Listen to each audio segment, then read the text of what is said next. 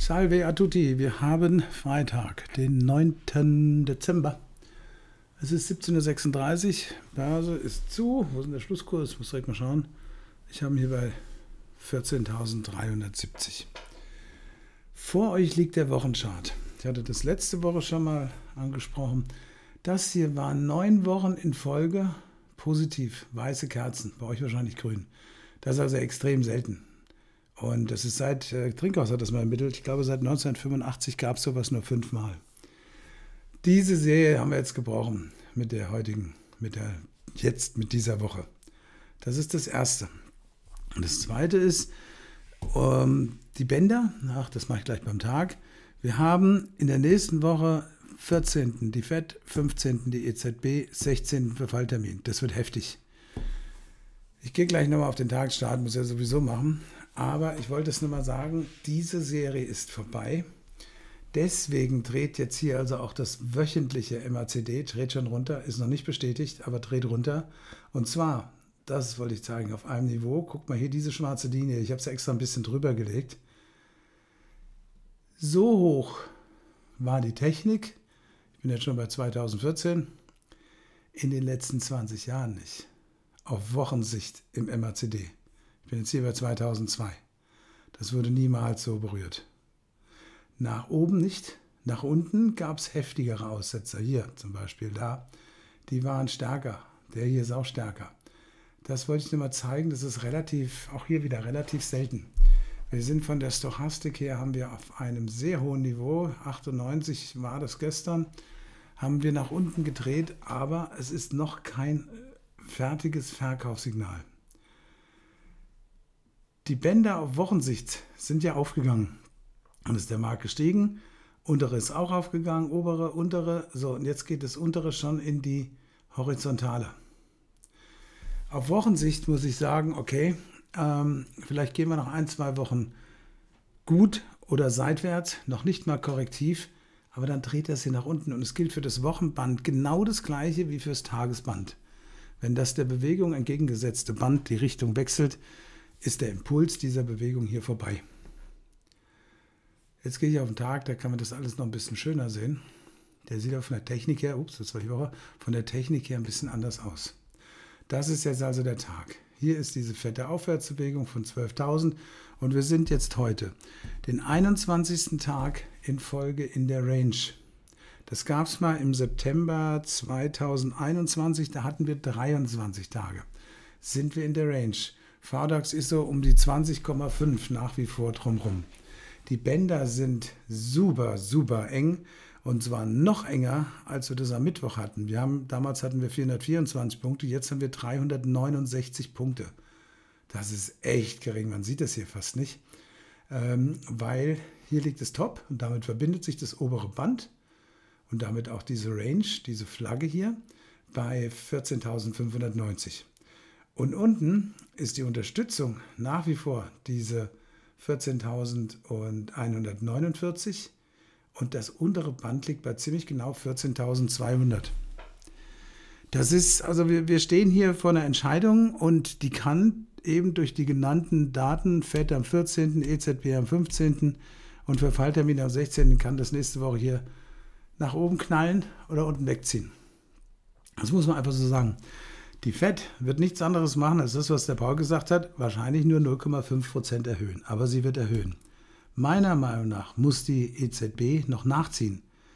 Also das wäre, ich glaube, ein fataler Fehler, wenn die jetzt auch nur 0,5 Prozent erhöhen sollte. Meines Erachtens nach ähm, sollte sie um 0,75 Prozent erhöhen.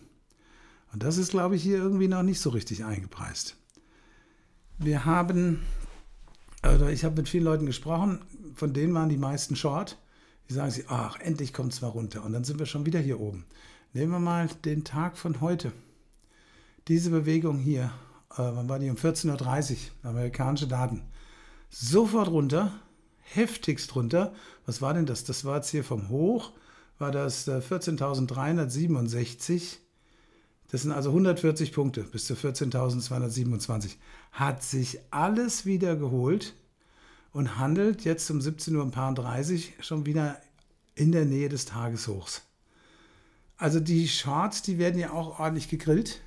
im Sinne von, ihr kriegt das Geld nicht so einfach. Ich gehe zurück auf den Tag. Das war jetzt eben ein Viertelstunden-Chart.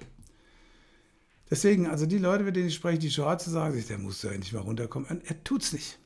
Und die Leute, mit denen ich spreche, die sagen, der muss jetzt mal drüber gehen. Und er tut's nicht. Es ist echt frustrierend nach wie vor. Ich habe mir Wecker gestellt für die größeren Bewegungen.